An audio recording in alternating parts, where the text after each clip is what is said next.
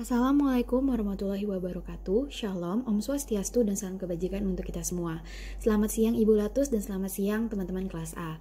Pada hari ini, izinkan kami dari kelompok 9 mempresentasikan hasil diskusi kami uh, Mengenai materi psikologi kepribadian Dollard Miller tentang stimulus respon teori Nah, sebelum kita membahas materi, alangkah baiknya kita kenalan dulu nih sama siapa aja sih anggota-anggota kelompok 9. Yang pertama ada Ahmad Fahmi Aziz dengan NIM G012006, ada Anindya Ayu dengan NIM G012018, ada Aziza dengan NIM G012031, dan ada saya sendiri Bian Dapat Managara dengan NIM G012038. Selanjutnya, presentasi akan dilanjutkan oleh teman saya. Oke, selanjutnya ada perkembangan kepribadian. Yang pertama ada perangkat Inet uh, mengenai respon sederhana dan primary process. Jadi Dollard dan Miller itu menganggap perubahan bayi yang sederhana, uh, perubahan bayi dari kan waktu bayi itu bentuknya masih sederhana gitu, yang kemudian berkembang menjadi seseorang yang dewasa yang lebih kompleks itu sebagai suatu proses yang menarik, sehingga banyak karyanya yang menjelaskan mengenai masalah perkembangan ini. Uh, bayi ini memiliki tiga repertoire primitif yang paling penting, yaitu yang pertama ada refleks spesifik. Refleks spesifik ini, uh, bayi memiliki beberapa refleks spesifik yang kebanyakan berupa respon tertentu terhadap stimulus atau kelompok stimulus tertentu. Contohnya itu routing refleks. Nah, routing refleks itu apa? Routing refleks itu uh, sentuhan pada pipi yang direspon dengan memutar kepala ke arah pipi yang disentuh. Jadi kalau kita menyentuh pipi kanan bayi, kita mengelus-elus pipi kanan bayi gitu, nanti bayinya akan refleks nengok ke sebelah kanan, ke arah pipinya yang disentuh. Kayak gitu. Terus yang kedua ada respon bawaan yang hierarkis. Nah, respon bawaan yang hierarkis, hierarkis ini merupakan kecenderungan untuk melakukan respon tertentu terhadap situasi stimulus sebelum melakukan respon lainnya. Contohnya, ketika uh, seorang bayi ini berusaha untuk menghindari stimulus yang tidak men tidak menyenangkan sebelum kemudian dia menangis. Jadi bayi itu sebelum menangis sudah berusaha untuk uh, menghindari stimulus yang tidak menyenangkan itu. Sebelum akhirnya dia uh, apa ya bisa dibilang tidak kuat gitu dan akhirnya menangis. Terus yang ketiga ada dorongan primer. Dorongan primer ini stimulus internal yang kuat dan juga bertahan lama. Nah, dorongan primer ini biasanya berkaitan dengan proses fisiologik, seperti lapar, haus, dan juga rasa sakit. Uh, ini memotivasi bayi untuk melakukan sesuatu, namun tidak menentukan aktivitas spesifik apa yang harus dilakukan. Jadi bisa disimpulkan, uh, bayi ini berkembang dari tiga repertoire tingkah laku tadi, yang refleks spesifik, respon bawaan yang hierarkis, dan juga dorongan primer. Nah, melalui proses belajar itu, bayi berkembang dari uh, yang sebelumnya sederhana menjadi seseorang yang dewasa yang lebih kompleks. Bayi itu berusaha untuk terus mengurangi tegangan dorongan, memunculkan respon-respon, kemudian menjawab stimuli baru, memberikan reinforcement respon baru, memunculkan motif sekunder dari drive primer, dan juga mengembangkan proses mental. Oke, yang terakhir ada situasi pembelajaran. Jadi, Dollard dan Miller itu menganggap bahwa 12 tahun kehidupan awal itu sangat penting dalam menentukan tingkah laku dewasanya.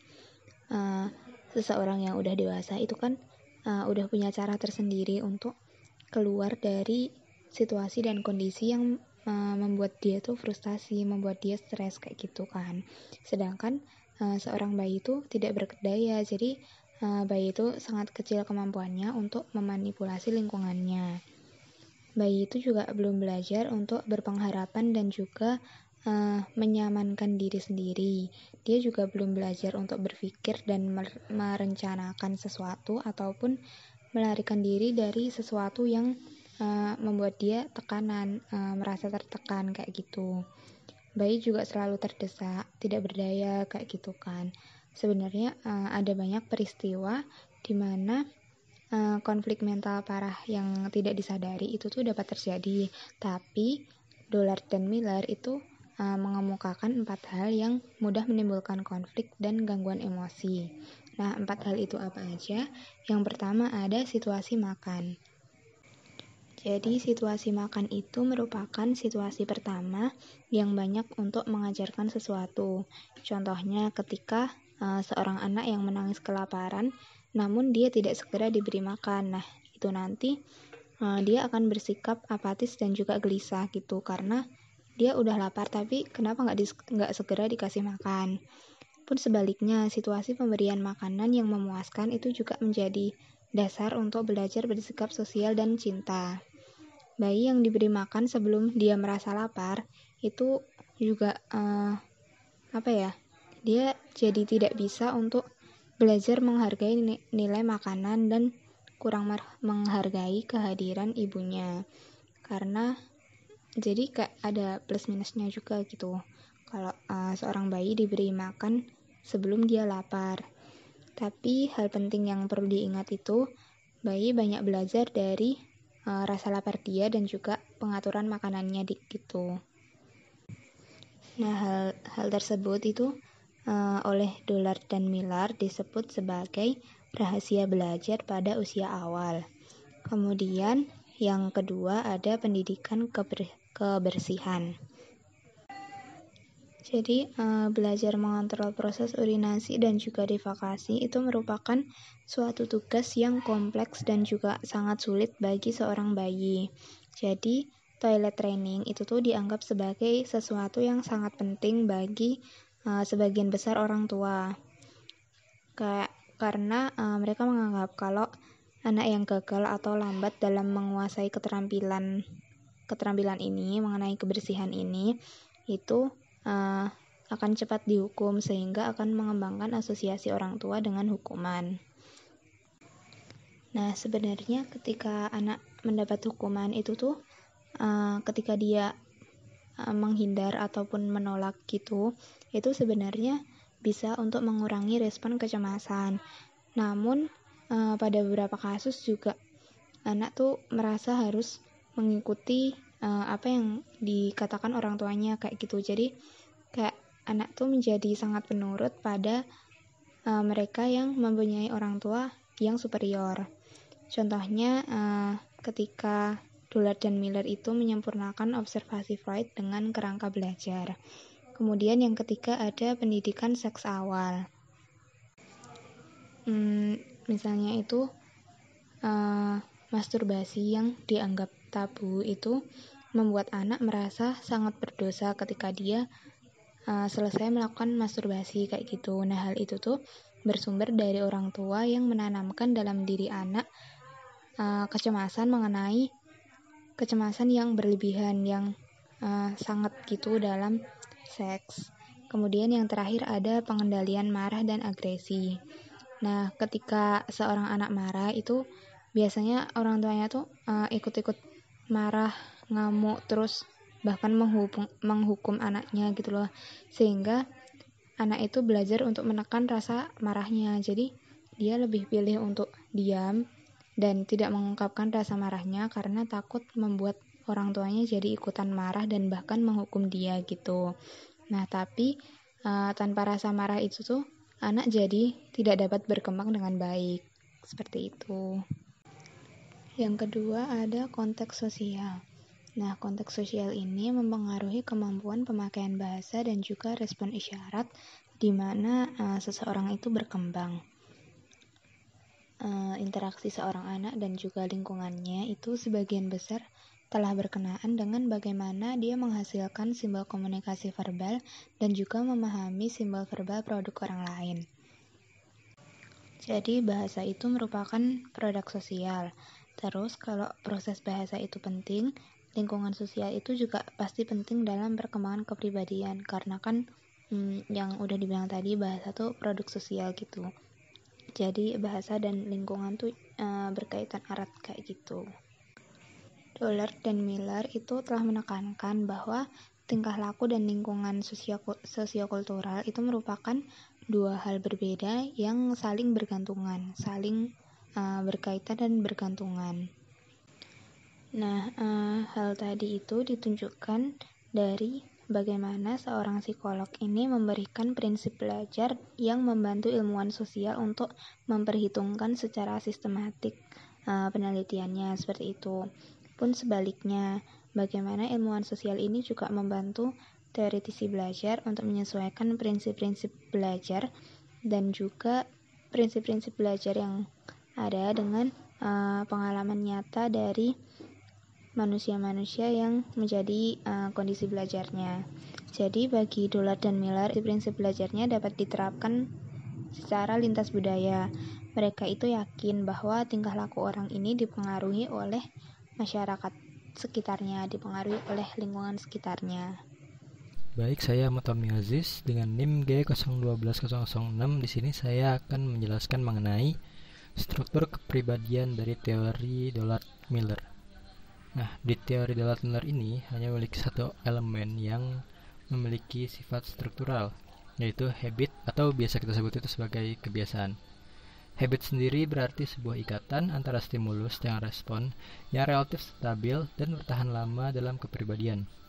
Oleh karena itu, Biasanya gambaran dari kebi kebiasaan seseorang tergantung pada suatu kejadian khas yang menjadi pengalamannya.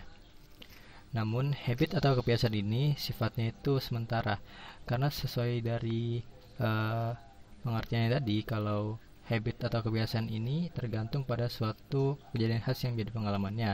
Nah, oleh karena itu, uh, kebiasaan tersebut mungkin akan berubah karena adanya pengalaman baru yang dia dapatkan. Nah, selain habit, Ternyata Dollard dan Miller juga mempertimbangkan suatu elemen yang memiliki sifat struktural juga yaitu dorongan sekunder. Nah, apa sih dorongan sekunder itu? Nah, dorongan sekunder yang dimaksud oleh Dollard dan Miller ini uh, itu seperti rasa takut sebagai bagian kepribadian yang relatif stabil. Nah, selain uh, habit dan juga dorongan sekunder, terdapat dua hal lagi yang menurut Dollard dan Miller merupakan struktur kepribadian yaitu dorongan primer dan juga hubungan stimulus respon yang bersifat bawaan. Sebenarnya kedua hal tersebut, dorongan primer dan juga hubungan stimulus respon yang bersifat bawaan itu juga menyumbang struktur kepribadian, tapi kedua hal tersebut masih kalah penting dibandingkan habit dan dorongan sekunder. Karena kedua hal tersebut hanya menentukan taraf umum seseorang, bukan membuat seseorang menjadi pribadi yang unik. Sekian dari saya, selanjutnya akan dilanjutkan oleh teman saya yang akan menjelaskan tentang dinamika kepribadian. Berikutnya, saya Biana Managara izin melanjutkan presentasi mengenai dinamika kepribadian. Hal pertama yang akan kita bahas adalah mengenai motivasi dorongan atau motivation drives. Jadi, uh, Dollar Miller ini tuh sangat memperhatikan menge uh, tentang motivasi atau drive.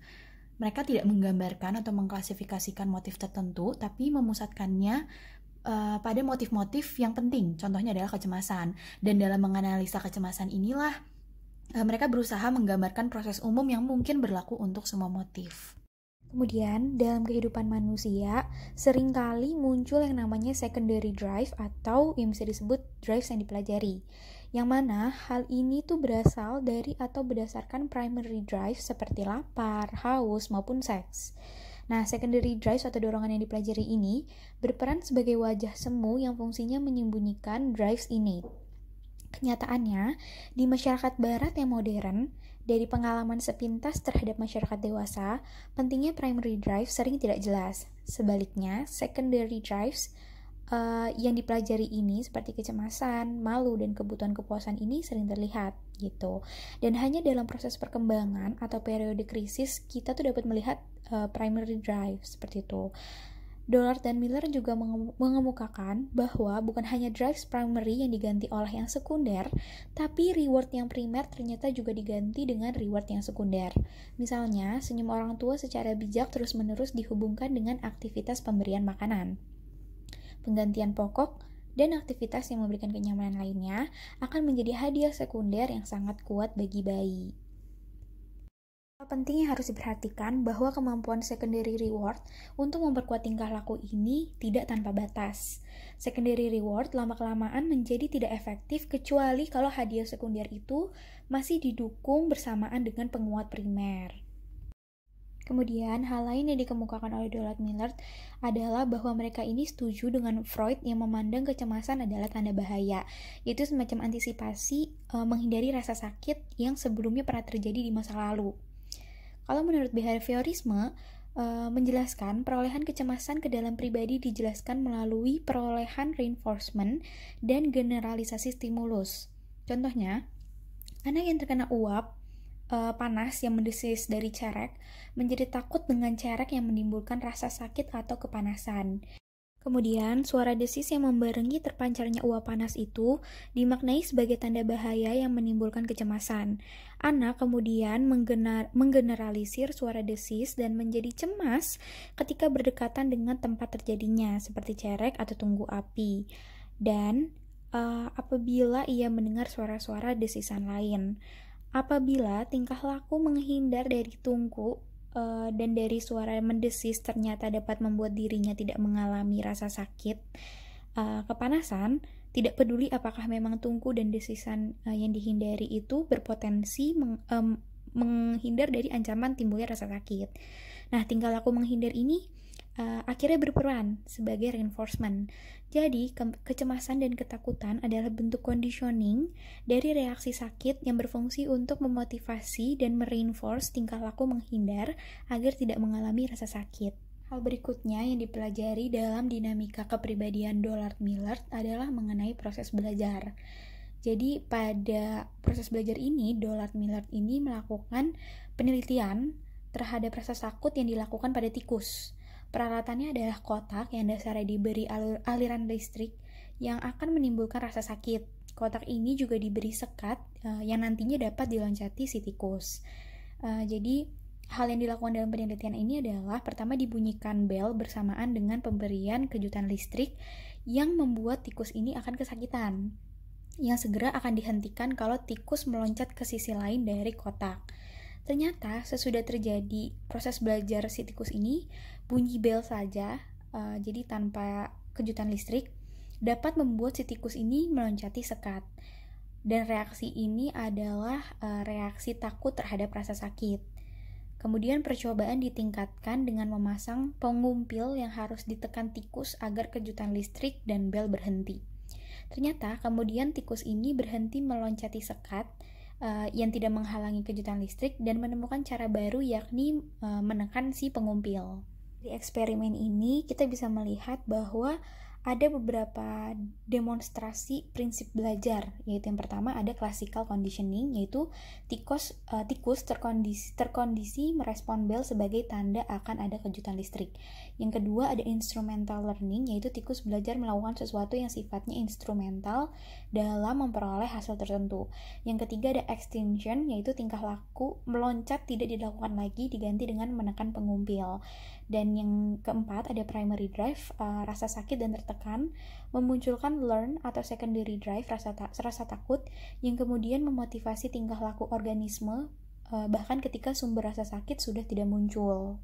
Nah, dari eksperimen-eksperimennya, Dollard Miller menyimpulkan bahwa sebagian besar dorongan sekunder yang dipelajari manusia dipelajari melalui belajar rasa takut dan anxiety. Mereka juga menyimpulkan bahwa untuk bisa belajar, orang harus menginginkan sesuatu, mengenal sesuatu, mengenakan sesuatu, dan mendapatkan sesuatu. Atau want something, notice something, do something, atau get something. Inilah yang kemudian menjadi empat komponen utama belajar, yaitu ada drive, ada response, ada cue, dan ada reinforcement. Oke, kita akan membahas satu-satu. Yang pertama ada drive. Jadi, drive ini adalah stimulus uh, yang dari dalam diri organisme yang mendorong terjadinya kegiatan tetapi tidak menentukan bentuk kegiatannya. Drive, kalau kita lihat dari penelitian yang tikus tadi, drive ini adalah rasa sakit yang mendorong tikus melakukan sesuatu tetapi tidak jelas harus bagaimana. Nah, kekuatan drive sendiri tergantung kekuatan stimulus yang memunculkannya. Semakin kuat drives-nya, semakin uh, keras usaha tingkah laku yang dihasilkannya. Kalau untuk secondary drives atau drives yang dipelajari atau diperoleh berdasarkan primary drive seperti rasa takut diperoleh dibangun uh, di atas drive Spain. Nah, sesudah secondary drive dimiliki, uh, hal itu akan memotivasi untuk mempelajari respon baru seperti fungsi dari primary drives. Nah, kekuatan uh, secondary secondary drive sendiri tergantung kepada kekuatan primary drives dan jumlah reinforcement yang diperoleh. Yang kedua ada Q, stimulus yang memberi petunjuk perlunya dilakukan respon yang sesungguhnya dalam penelitian itu seperti suara bel menjadi cue bagi tikus untuk meloncati sekat atau menekan pengumpil. Jenis dan kekuatan cue bervariasi dan variasi itu menentukan bagaimana reaksi terhadapnya. Kemudian yang ketiga ada respons, yaitu aktivitas yang dilakukan seseorang. Menurut Dollard dan Miller, sebelum suatu respon dikaitkan dengan suatu stimulus, respon itu harus terlebih uh, harus terjadi terlebih dahulu. Misalnya, anak tidak akan mulai belajar membaca sampai dia nyata-nyata mulai mencoba membaca. Kalau misalkan dalam terapi, orang yang takut dengan orang lain uh, dan tidak berpendirian tidak dapat belajar bersikap tegas atau asertif sampai dia uh, nyata-nyata merespon secara asertif. Dan dalam situasi tertentu, suatu stimulus menimbulkan respon-respon yang berurutan, atau bisa disebut hierarchy of response. Belajar akan menghilangkan beberapa respon yang tidak perlu menjadi resultan hierarki yang lebih efektif mencapai tujuan yang diharapkan. Kemudian yang terakhir ada reinforcement. Agar belajar bisa terjadi, harus ada yang namanya reinforcement atau reward. Menurut Dollard Miller, uh, mereka ini mendefinisikannya sebagai drive reduction atau pereda dorongan. Penelitian e, membuktikan bahwa event yang mengikuti suatu respon sangat menentukan hubungan respon itu dengan stimulusnya. Event yang hanya meredakan sebentar stimuli pendorongnya akan memperkuat respon apa pun yang terlibat. Jadi bisa dikatakan reduksi drive ini menjadi syarat mutlak dari reinforcement. Hipotesis mengenai reduksi drive ini menimbulkan kontroversi, uh, dan Miller sendiri terus berusaha mencari kebenarannya. Terkadang tidak ada respon yang sukses atau respon yang semula sukses tidak mendapat reinforcement lagi. Nah, learning dilemma semacam ini yang akan menghasilkan extinction atau hilangnya tingkah laku yang tidak efektif dan berkembangnya respon baru. Dollard dan Miller membandingkan rasa takut tikus terhadap event yang berbahaya dengan uh, kecemasan manusia. Proses belajar awal dari tikus yang takut dan berusaha melarikan diri itu menjelaskan bagaimana tingkah laku neurotik orang yang menderita kecemasan.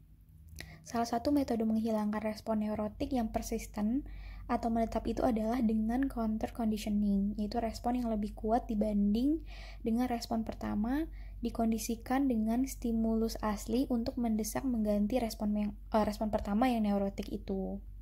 Berikutnya, hal berikutnya uh, yang akan dipelajari mengenai dinamika kepribadian adalah proses mental yang tinggi.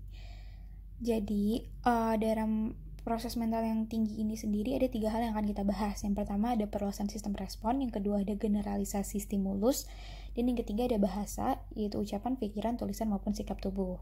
Kita akan uh, pergi dulu yang ke pertama yaitu perluasan sistem respon. Contoh dari teori ini adalah misalkan Seorang pilot yang pesawatnya meledak karena tertembak musuh menyelamatkan diri dengan kursi lontar.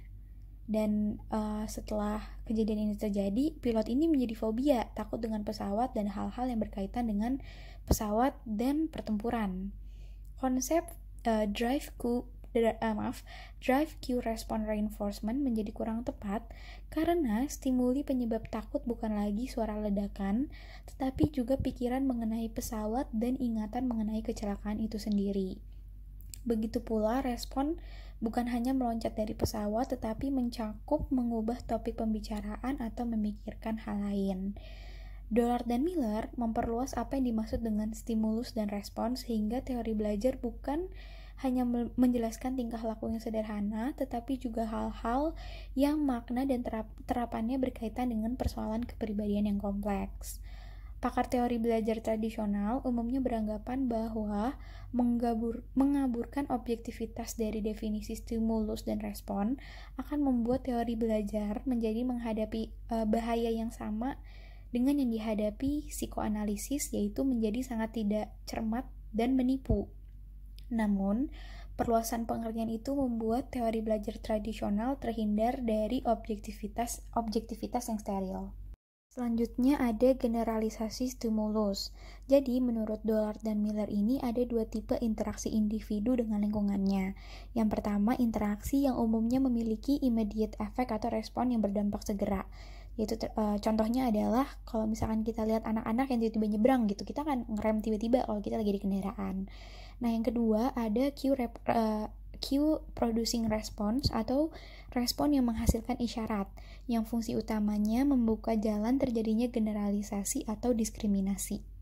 Pakar sebelum Dollard dan Miller telah, uh, telah lama mengetahui bahwa respon yang dipelajari dalam kaitannya dengan suatu stimulus dapat dipakai untuk menjawab stimulus lain yang bentuk atau wujud fisiknya mirip. Uh, hal ini disebut dengan stimulus generalization. Semakin mirip stimulus lain itu dengan stimulus lainnya, peluang terjadinya generalisasi tingkah laku, emosi, pikiran, atau sikap semakin besar. Contohnya pada manusia bisa terjadi mediated stimulus generalization yaitu generalisasi karena stimulus lain dengan stimulus asli dimasukkan ke dalam klasifikasi yang sama berdasarkan reasoning tertentu atau diberi uh, label atau nama yang sama. Q-responding respon itu umumnya terjadi melalui sejumlah event internal yang disebut train of thought atau alur berpikir. Misalnya, contohnya nih, kita lagi di toko peralatan, kemudian kita ingat kita mau sesuatu atau beli sesuatu yang kita inginkan. Nah, pikiran bahwa kita membawa uang cukup itu kemudian mengarahkan keputusan untuk masuk ke dalam toko itu. Uh, reasoning pada dasarnya merupakan pengganti perbuatan nyata menjadi Q jadi producing respon internal yang lebih efisien untuk memecahkan masalah daripada berbuat mencoba-coba. Reasoning memungkinkan orang menguji alternatif respon tanpa e, nyata-nyata mencobanya, sehingga menyingkat proses memilih tindakan. Reasoning juga memberikan kemudahan untuk merencanakan, menekankan tindakan pada masa yang akan datang, dan mengantisipasi res, e, res, respon agar menjadi lebih efektif. Kemudian yang terakhir uh, dari proses mental yang tinggi ada mengenai bahasa yang merupakan isyarat yang penting sesudah reasoning. Dua fungsinya yang penting sebagai respon isyarat adalah generalisasi dan diskriminasi. Dua fungsinya yang penting sebagai cure producing respon adalah generalisasi dan diskriminasi dengan memberi label yang sama terhadap dua atau lebih event yang berbeda. Terjadinya generalisasi untuk meresponnya secara sama Sebaliknya, label yang berbeda terhadap event yang hampir sama memaksa orang untuk merespon event itu secara berbeda pula. Perbedaan antara stimuli dipengaruhi oleh faktor sosiokultural. Contohnya, eh, masyarakat Cook Islander yang sangat tergantung kepada nilai ekonomi kelapa memiliki 12 label yang berbeda mengenai kelapa. Masing-masingnya menjelaskan tahap yang berbeda dari kemasakan dan dari ciri buah kelapa dan diskriminasi itu akan menimbulkan respon yang juga berbeda-beda. Dollard Miller sangat mementingkan peran bahasa dalam memotivasi, uh, yaitu sebagai hadiah dan pandangan ke depan. Kata mampu membangkitkan drives dan memperkuat atau memberi jaminan. Kata juga dapat berfungsi sebagai pengatur waktu. Jadi kita dapat uh, menguatkan tingkah laku sekarang secara verbal dengan menggambarkan konsekuensi uh, pada masa yang akan datang. Jadi jelasnya intervensi verbal terhadap drive Q, drive Q respon uh, reinforcement telah membuat tingkah laku manusia menjadi semakin kompleks. Tanpa kata atau pikiran untuk mendukung motivasi lintas waktu, kita mungkin akan menjadi kurang konsisten dan kurang fleksibel dalam bertingkah laku. Nah, yang terakhir yang akan dibahas dalam dinamika kepribadian adalah secondary drives. Sebenarnya kita dari tadi udah ngomongin secondary drive. Kenapa sih secondary drive ini penting? Karena kalau kita lihat dari masyarakat modern yang kompleks, tingkah laku mereka itu tidak semata-mata uh, diatur oleh reinforcement primer, yang contohnya makanan atau air gitu. Karena kehidupan manusia modern itu dibentuk oleh perjuangannya untuk memperoleh prestis status, kebahagiaan, kekayaan, ketergantungan, dan hal-hal lainnya. Kalau menurut Dollard Miller, stimulus atau cue apa pun yang sering berasosiasi dengan kepuasan prima, primary drive dapat menjadi reinforcement sekunder. Contohnya bagi bayi, tampilan, bau, dan sentuhan ibunya adalah cue yang berulang terjadi berkaitan langsung dengan terpuaskannya rasa lapar dan keadaan fisik yang tidak menyenangkan. Sesudah hubungan itu dipelajari, kehadiran ibu akan menjadi reinforcement yang kuat, e, mengganti reinforcement makanan.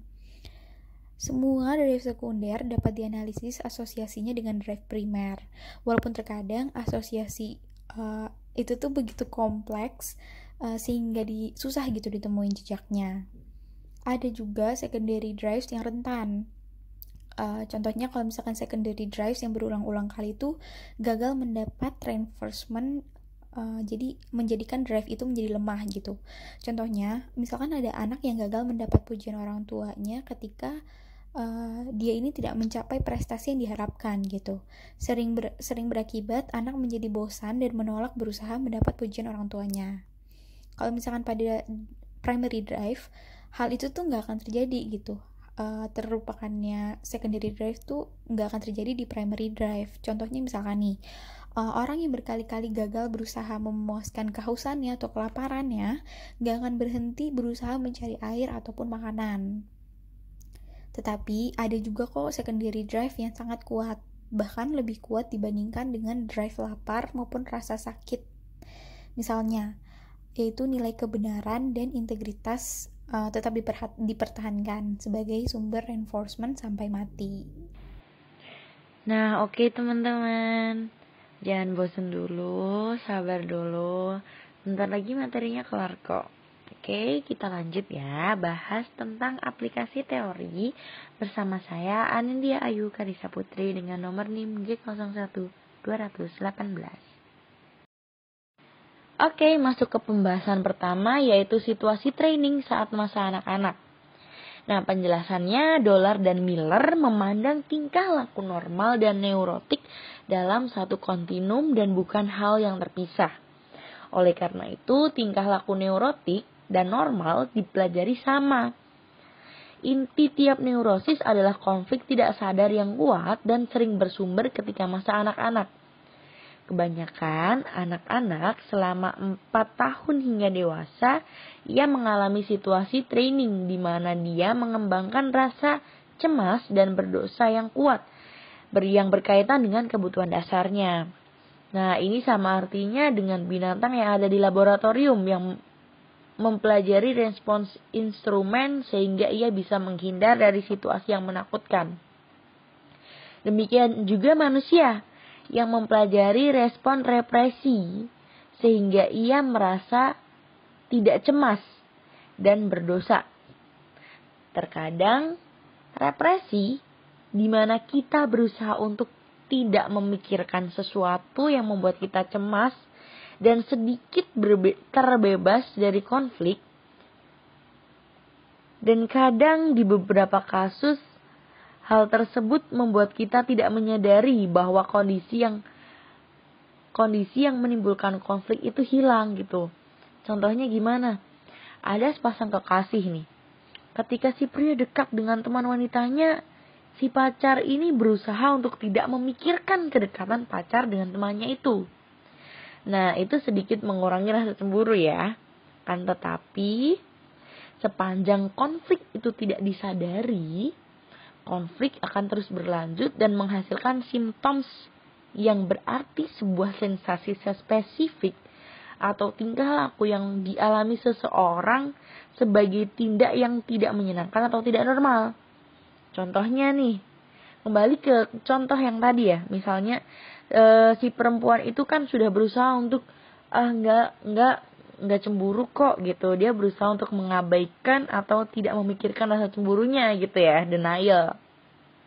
Nah itu secara tidak sadar terkadang membuat si perempuan ini sedikit tertutup atau sifatnya udah mulai berubah untuk biar dia mungkin si perempuan pikir ah biarin deh mungkin aku agak sedikit uh, berbeda aja ya. Mungkin aku biar nggak kelihatan cemburu aku agak berubah dikit deh.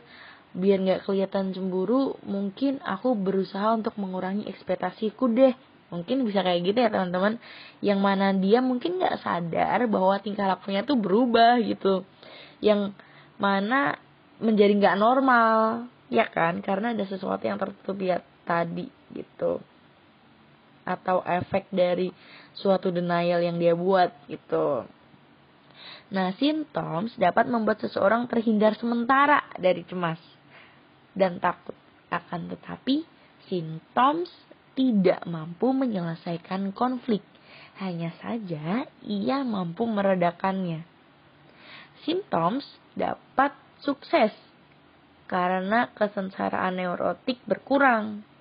Symptoms dipelajari sebagai habit.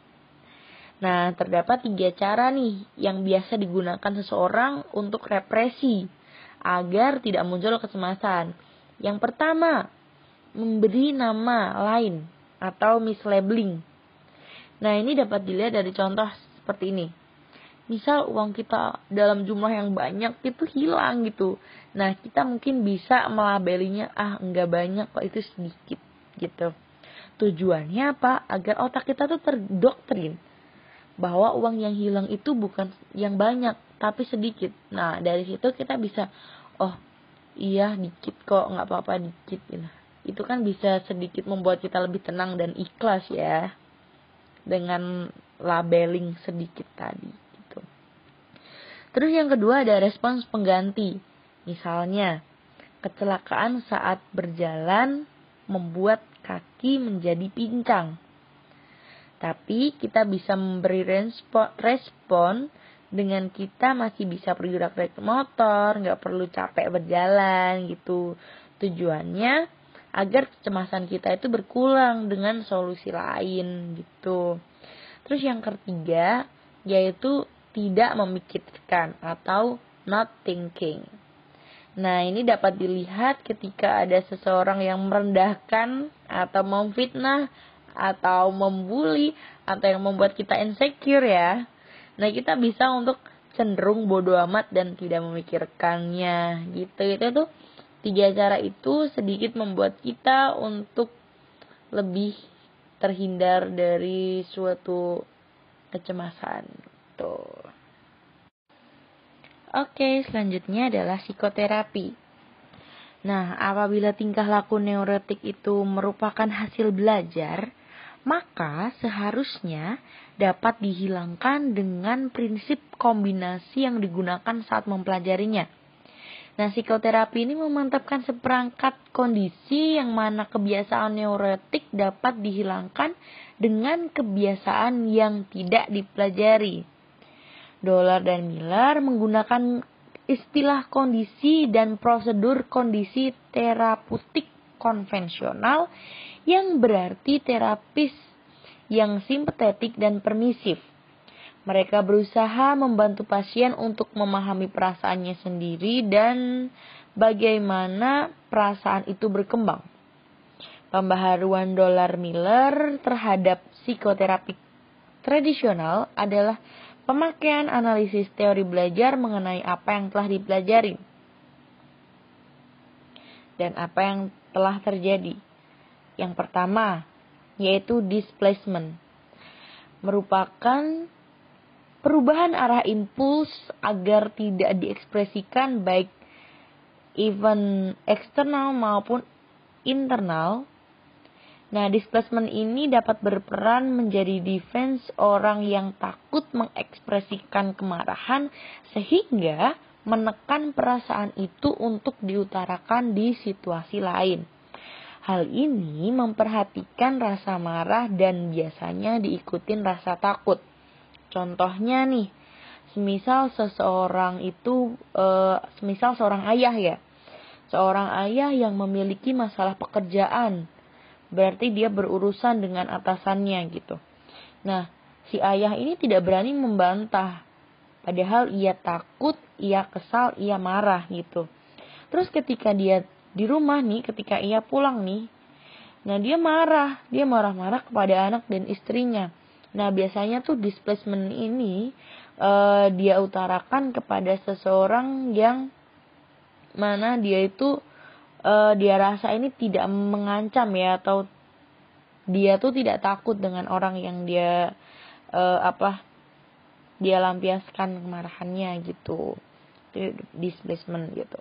Terus kalau sublimasi yang kedua yaitu sublimasi yang mana merupakan bentuk displacement yang lebih adaptif karena energi yang dapat yang ada dapat dicegah dan tidak dikeluarkan secara asli, tetapi disalurkan pada dorongan yang bisa diterima. Misalnya disalurkan pada objek lain dengan drive yang sama seperti mungkin marah disalurkan dengan memukul guling tinju atau bisa berolahraga juga gitu ya. Orang marah e, bisa olahraga tinju itu kan suatu olahraga ya teman-teman. Yang mana itu sebenarnya e, bermanfaat juga kan karena dia berolahraga gitu. Bukan sesuatu yang membahayakan. Tuh Terus yang ketiga ada belajar atau menguasai sistem saraf otonom seperti eksperimen Dolar Miller akan manusia dan binatang yang dapat mengontrol respons saraf. Mereka dapat belajar mempercepat atau memperlambat denyut jantung atau kontraksi usus. Hal ini dapat memberi peluang mengobati gangguan fisik dari denyut jantung dan tekanan darah yang mana mengembangkan ranah feedback dalam penanganan gangguan fisik. Nah, oke okay, teman-teman, kita lanjut di pembahasan evaluasi teori. Masih semangat ya? Oh, yuk, bisa yuk. Jaga ya semangatnya teman-teman. Dikit lagi kelar kok. Nah, membahas mengenai evaluasi nih. Teori SR atau stimulus respon itu dikritik dalam hal mementingkan perilaku sederhana yang menggarisbawahi tingkah laku binatang dan mengabaikan fungsi kognitif. Nah, hal ini disebabkan Dollar dan Miller lebih mempedulikan proses belajar daripada respon stimuli gitu. Nah, teori si holistik juga berpendapat nih bahwa stimulus respons yang berpisah-pisah menyebabkan pendekatan automatik tidak dapat memahami tingkah laku seutuhnya gitu evaluasinya. Nah, oke, okay, next ya. Akan tapi nih, e, terlepas dari evaluasi tersebut, Bapak Dollar dan Miller ini tetap memiliki kelebihan. Yang pertama yaitu memiliki rincian dan konsep utama yang jelas dan didukung data-data empiris. Lalu yang kedua, e, karena pendekatan yang digunakan itu pendekatan positif, maka jarang ada formulasi kabur dari semacam intuisi gitu. Yang ketiga, menggunakan variabel sosiokultural lebih jelas secara eksplisit sehingga teorinya banyak digunakan pakar antropologi kultural dengan setara dengan pemakaian psikoanalitis. Lalu yang keempat, teorinya menjadi model dari teori lain karena teori khas mereka mengenai proses belajar yang mana merupakan hal terpenting kepribadian kurang mendapat perhatian gitu. Dan yang terakhir yaitu kelima, teori mereka itu tidak kaku dan tidak keberatan apabila harus memakai konsep pembantu untuk kompleksitas tingkah laku. Sehingga konsep mereka yang berusaha menjelaskan konsep psikoanalisis dengan metodologi dan bahasa behavioral, behavioral hingga psikoanalisis semakin dirasa ilmiah. Gitu teman-teman, itu kelebihan dari teorinya Bapak Dollar dan Miller gitu.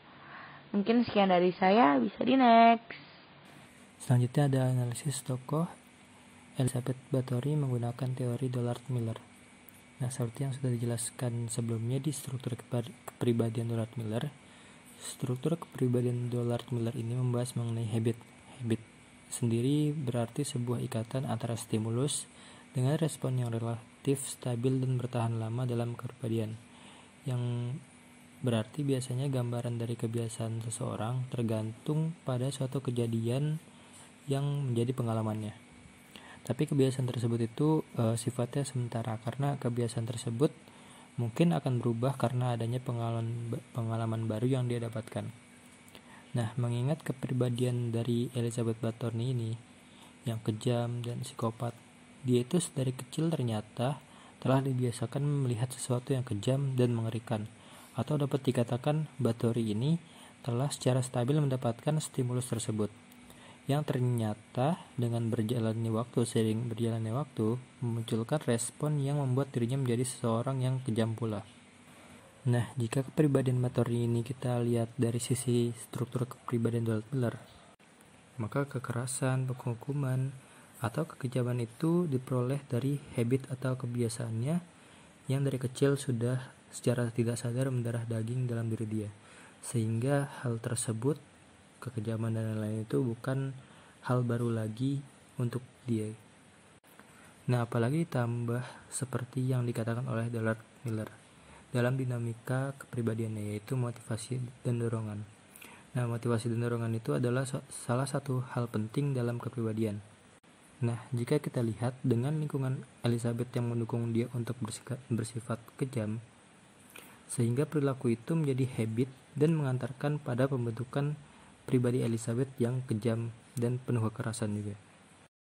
Kemudian jika dilihat dari pengulangan perbuatan yang keji, yang kurang lebih memakan sekitar 650 korban jiwa, mungkin dapat dikatakan bahwa perbuatan Elizabeth Bartori ini telah menjadi primary drives pada dirinya yang dia lakukan untuk pemenuhan kepuasan diri sendiri. Jadi dia melakukan penyiksaan dan mandi darah wanita yang masih perawan dan lain-lain itu demi kepuasan dirinya sendiri.